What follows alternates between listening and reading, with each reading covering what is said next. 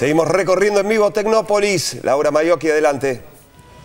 Pablo, el mañana es hoy, claro que el futuro es vida y aquí más que nunca en Tecnópolis estamos dando cuenta de este futuro que lo estamos acariciando, transitando, somos protagonistas de este mismo futuro que estamos viviendo, más que nunca, ¿no? Eh, la representación eh, ya no simbólica, sino concreta de que el futuro está aquí entre nosotros, ministro. Estamos con Lino Barañao, por supuesto, el titular del Ministerio de Ciencia y Tecnología, eh, hoy ya con la calidad y la categoría de un ministerio.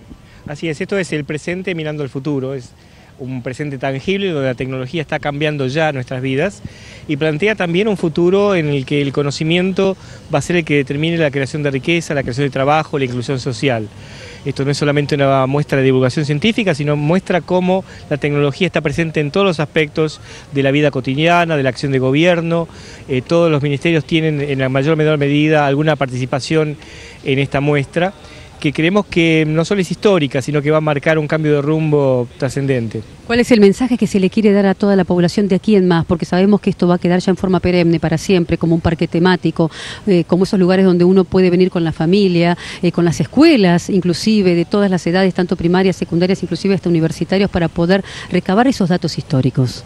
Bueno, queremos que esto es una postal tridimensional de un futuro promisorio, de un futuro mejor para nuestro país. A veces la sociedad argentina ha carecido de un rumbo claro, de quién le formulara, eh, a qué punto queríamos llegar y estamos inmersos en discusiones sobre lo urgente, sobre lo cotidiano, que son muy difíciles de zanjar si no se tiene una perspectiva de futuro. Y eso es justamente lo que estamos dando acá.